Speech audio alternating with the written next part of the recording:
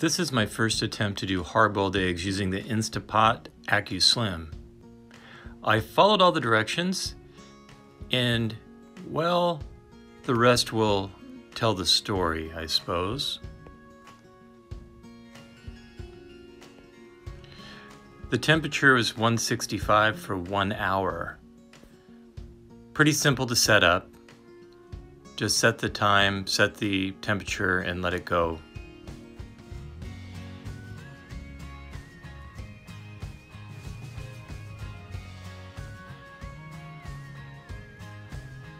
Took about 15 minutes for the eggs to get to the right temperature. The result is what I have here. So I cracked the egg open to see how well it was hard boiled. What I experienced was as I pulled the egg shell off, the egg came with it. Now this was directly out of the Instapot dried off. So I've had this experience before with uh, doing it, you know, regular way with boiling water.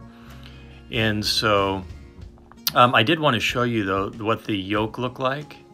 I have to say this, the sous vide, one of the great things about it is it does uh, create an, a great texture and a great flavor for the egg. So although the shell didn't come off like I'd hoped because I was going to make deviled eggs, the yolk was excellent tasting. So what I did is I put the eggs into a basically an ice bath. I've done that before and it, it has worked for uh, doing it the traditional way of doing hard-boiled eggs where it helps the shell separate from the egg itself. So my hope was that the same process would help with my sous vide preparation.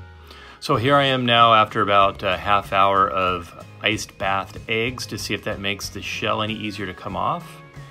I put the eggs in the ice bath, put them in the refrigerator to cool them down. And well, unfortunately, I pretty much had the same experience getting the shell off of the egg. Did not work out well. Again, the eggs were yummy, but just a real pain.